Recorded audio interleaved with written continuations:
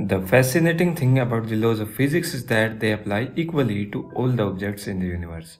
The local laws of physics are no different from the laws that follow at the edge of universe or at the center of Milky Way galaxy.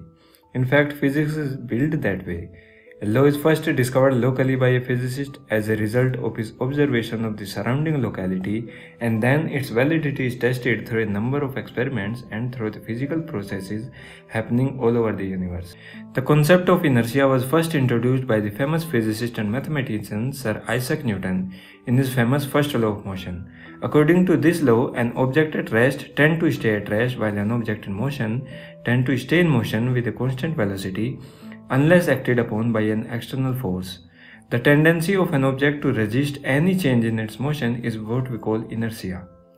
The magnitude of an object's inertia is determined by its mass. The greater an object's mass, the greater its inertia, and the more difficult it is to change its motion.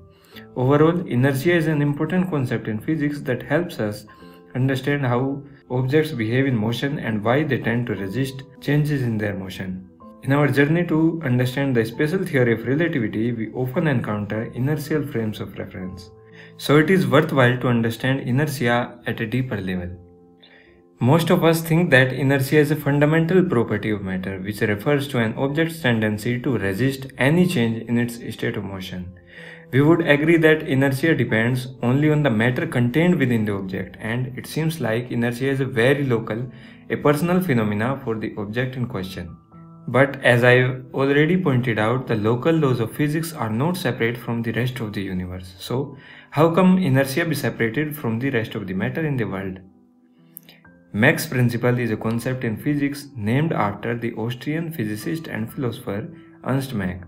The principle suggests that the local properties of space-time, such as its curvature or geometry, are determined by the distribution of matter in the universe. Suppose you are standing in a field looking at the stars and your arms are resting freely at your sides.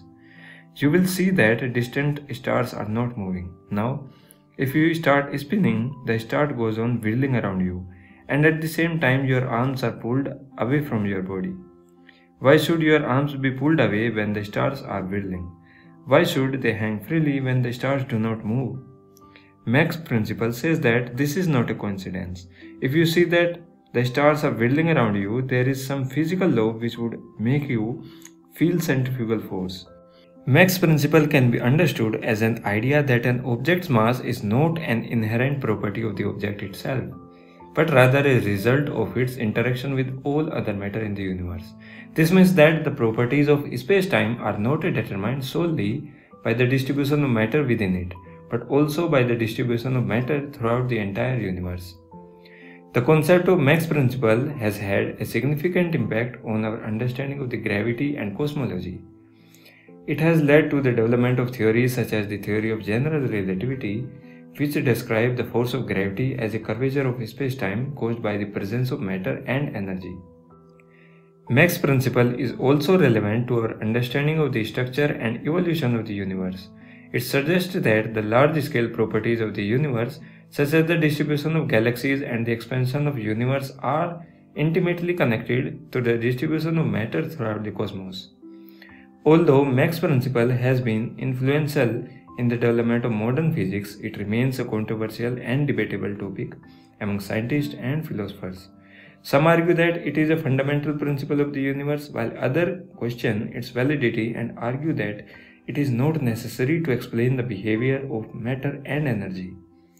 With a reference to this principle, Mach pointed out that inertia is not an intrinsic property of matter or space, but depends on the existence of all matter in the universe. The youthful Einstein was much attracted by Mach's ideas on the foundation of Newtonian physics and by Mach's insistence that physical concepts can be defined in terms of observables.